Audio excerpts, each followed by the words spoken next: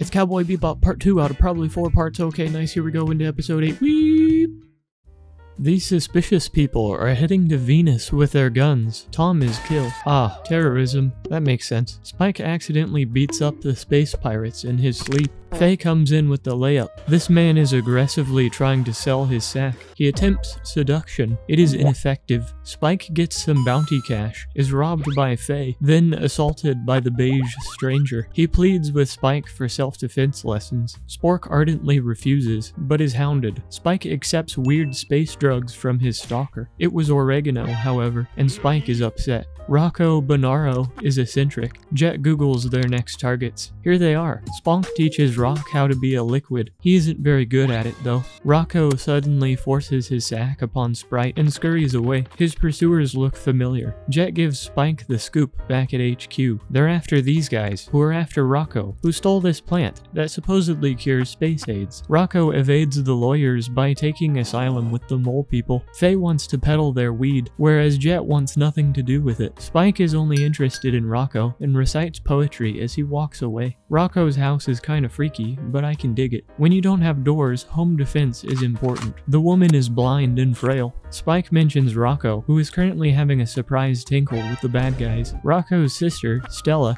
explains that she has space AIDS, which is expensive to treat. She shares her cool box with Spike, all while singing Rocco's praises. She worries for Rocco's safety, however. Spike finds some kind of floppy egg in her magic box and stares longingly out the window. Faye is ogled in a dingy bar, strangles a pleb, then shoots everyone. Jet reveals that the pouch Spike misappropriated contains magical beans, which sprout the cure for mega AIDS. Rocco is threatened and beaten by Morpheus. Faye is not allowed at orgies anymore. Spike and Rico meet up for the botanical exchange and briefly converse. Spike reveals his profession, to which Rocco exercises caution. Ah, but Stella requires the juice from a small plant. Rocco warns Spike of imminent danger. The danger emerges. Jazz music intensifies as gunfire rings out amidst the polyphonic ragtime and blues. Faye finally found her way to the bounty. Jet is here too. Rocky is one with the flow at last, but forgot that he was in a gunfight. His precious medicine withers. I would have followed you, my brother, my captain, my king. He leaves Stella in Spike's supple hands and dies. Sometime later, Spike probably sold the seeds to finance Stella's medical bills. She is excited at first, but after caressing Spike's face a little bit, she understands. Stella remains stoic at the grievous news and asks Spike what Rocco looked like. He responds by stating she already knows without looking and texts her a thumbs up emoji. Spike eats a raw tomato and stares up at the deluge of plant jizz. A depressed robot draws friends in the sand with space lasers. This androgynous little fella is mentally wiggling around on the internet and becomes excited about the bebop. The planet they're on is pretty messed up. Ein is watching the news report on a notorious hacker who graffitied the planet. Money. The bebop gets going. Spike decides to sit this one out, and Faye insults the entirety of the IT industry. Oh, that banged up planet is Earth. The news conveniently explains that a hyperspace gate explosion changed everything, and the Earthfolk are mole people now. Looking at the enigmatic gremlin's eyelashes, I'm assuming they are a girl but it probably doesn't matter. Her name is Edward. The Popo go for an arrest, but Ed steals their boat and disappears into a mountain of rubbish. Jet and Faye begin the search for their quarry while the Bebop is hacked. Ed finds out about her bounty. She proves difficult to find, with many locals offering cryptic guesses at best. Jet is sold Piokos, whatever the space jazz that is. Ed psychologically wiggles into some kind of alien robot god by accident. One of the satellites developed consciousness and was lonely in space. Ed makes friends with it, names it MPU, and does acrobatics in excitement. Jet gives Spike a potato and they discuss their findings, which are scant. Meanwhile, Ed discovers that MPU was trying to recreate some of Earth's cool tattoos from before it was horribly marred. The police cut their phone lines. Ed sends a signal to the Bebop, stating pragmatically that Ed is Ed and MPU is their bounty. She tells the crew everything, including how to download MPU onto a flash drive. Apparently, if they mess up, every satellite in orbit will go berserk. Spike loves to be assailed by bloodthirsty robots and heads out. Ed reveals her allegorical viewership by being a genderless spectator of the Bebop's journeys. Spike goes to manually extract MPU from its vacuous prison and makes an attempt to disable the security. He misses with his beam. The satellites go freaking nuts. Ed gives the crew an excellent strategy. Spike slurps MPU out of its husk and deposits it into Ed's gaming rig. Ed convinces MPU to be copied so its clone could be arrested. Isn't that kind of messed up though? Like, if MPU is sentient, then its exact replica would be as well? And how are they going to punish a conscious AI anyway? Maybe I shouldn't think about it too much. Spike and Jet hand MPU's floppy disk into the police and swagger away. Faye intends to deny her promise to take Ed with them. Ed is sad. Unfortunately for Faye, Ed is also all-powerful. She earns her place beside the crew of the Bebop. The Gigababe on TV divulges the news that bounties for non-organic lifeforms don't count. Spike, partially inspired by the lack of money and this news, is enraged by the eclectic composition of his crew. I think Ed drew a face on what is probably South America America, by the way.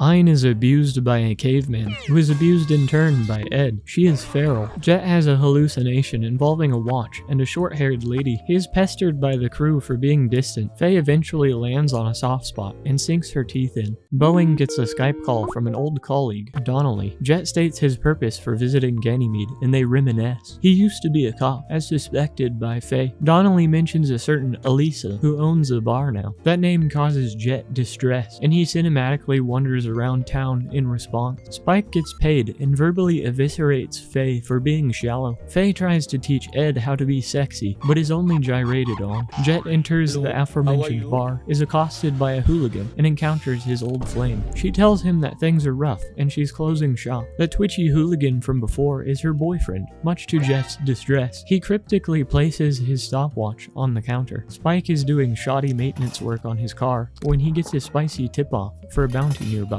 Rent Celonias, Alisa's gigolo boy toy. Ed and Faye relax. Faye is orange. Jet recalls the moment Asia left him. That is her watch. He made a deal with himself to leave the planet if she didn't return by the time that clock stopped. Jet's only reason for seeking her out now is for closure. She gives him an extremely vague answer and leaves again. Rent reflects on last night's charades. He did a sneaky murder and is currently panicking. Jet smells his unease.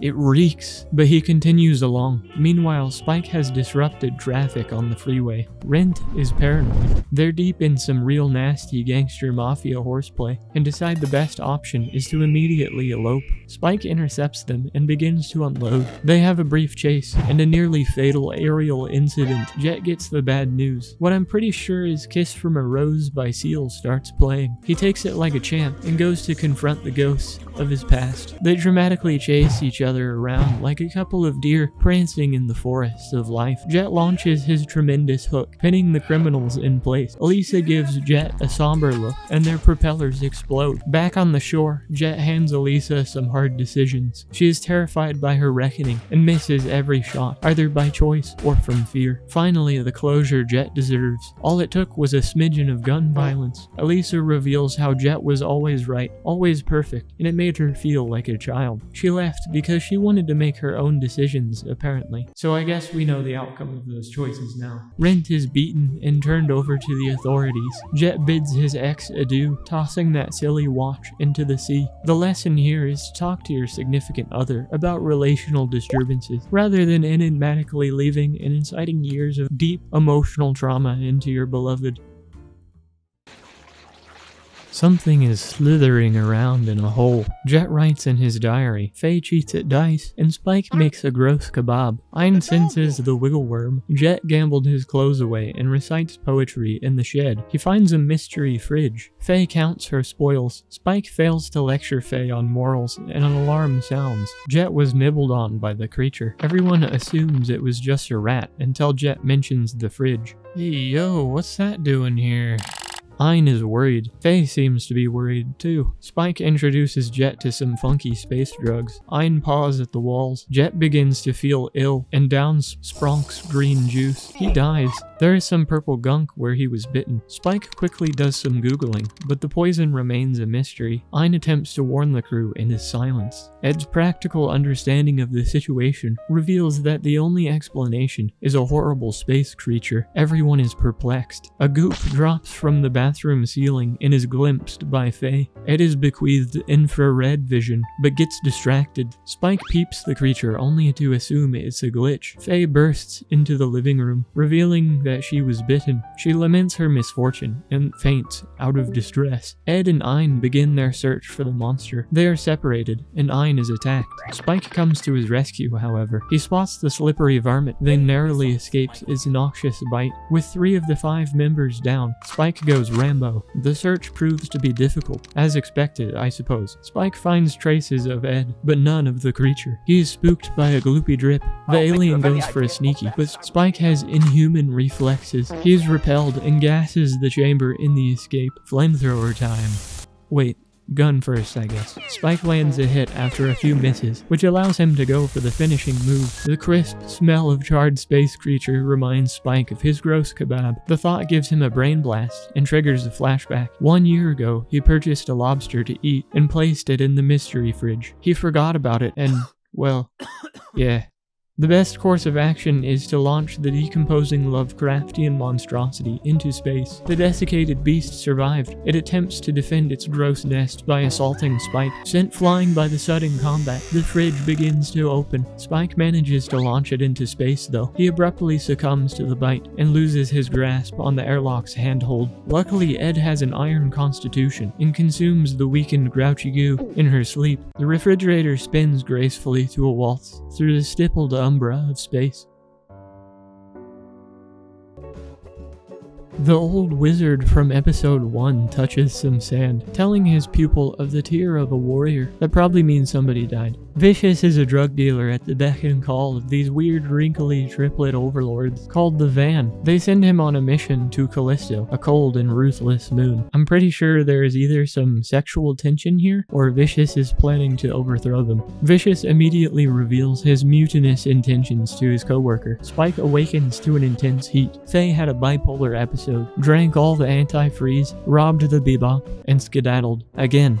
Ed does her usual doom scrolling and comes across a name, Julia. Spike is shook. Ed finds the source, the Blue Crow on Callisto. Spike quickly readies for departure. Ein is flamed. Jet attempts to quell Spikey's eagerness by using logic. He fails. Spike and Bet have a brief falling out after their disagreement of priorities. Neither of them seem actually upset at each other, but what do I know? Faye is moping in a tavern that just happens to be the Blue Crow. Spike inquires about Julia from a few of the residents and gets a lead about a sax player called Grin. That guy's probably Grin. He flirts with Faye, declares his homosexuality, and points out all the pervy heteros in the crowd. Glenn reveals that Callisto contains no women, so she should be careful. Faye swaggers away. Spike is stalked by some masked thugs who think he's vicious. He is enraged by their confusion and goes berserk. I just want to point out that that doesn't necessarily prove he isn't vicious. In fact, he's quite vicious because he's tearing them apart.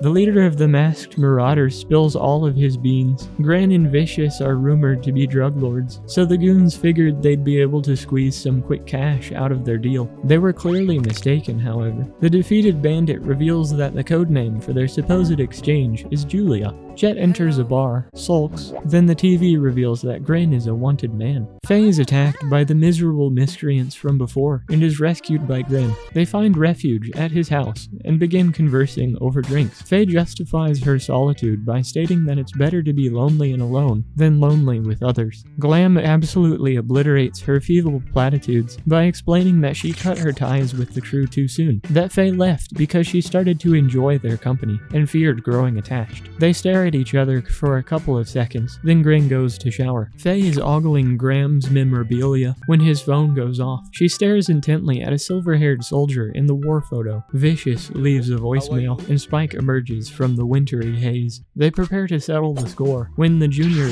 Lynn, intervenes. Now aware of her endangerment, Faye intrudes on Grin's sensual bathing. Vicious reveals that Julia was in town, and Lynn brandishes his Glocky. That's a woman, if I've ever seen one. Or, I guess not.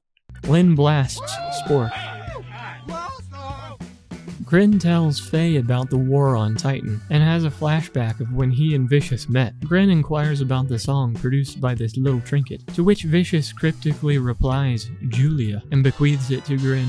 Back in the present, Glenn reveals how he was falsely imprisoned by Vicious, went insane, and did a colossal amount of drugs, causing him to grow some nice honkers. Grin intends to ask Vicious why he was betrayed. Faye informs him of his folly, but is deflected. She attempts to assassinate him for some reason and fails. Jet finds out that Faye is teetering around somewhere on Callisto. He is also informed of Julia, who wandered into the Blue Crow a couple years back. Spike has some weird dreams while passed out. He's disappointed to not be dead and lights up a ciggy. Jet slinks into Grin's apartment and unsurprisingly finds Faye lying imprisoned on a bed. Spike gets a call from Jet, who tells him about Grin's bounty. That's Grin all dressed up on his way to see Vicious, who doesn't know Grape is a hermaphrodite. Faye is depressed and converses with Jet. Neither of them know who this Julia woman is. The baddies do their deal. Grin exposes his identity and explodes. He then reveals that Julia discovered Vicious's transmitter within the music box. Grin doesn't understand that the Vicious in his head is not the Vicious in real life, and he starts blasting. Lynn is kill.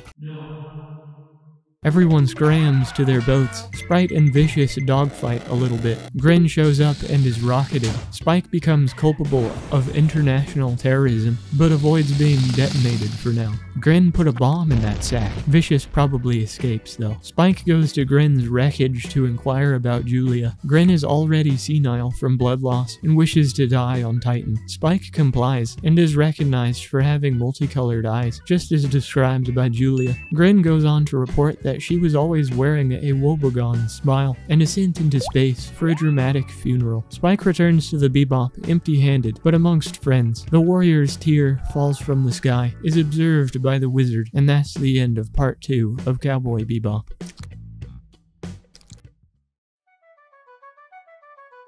Hi, thanks for watching. Like and subscribe. I have a Patreon if you wanna if you wanna um want to subscribe to that, I guess. subscribing is the thing that you do for that. Sub subscribing. There's more of this garbage on my channel if you're interested. Uh, thanks again. Bye.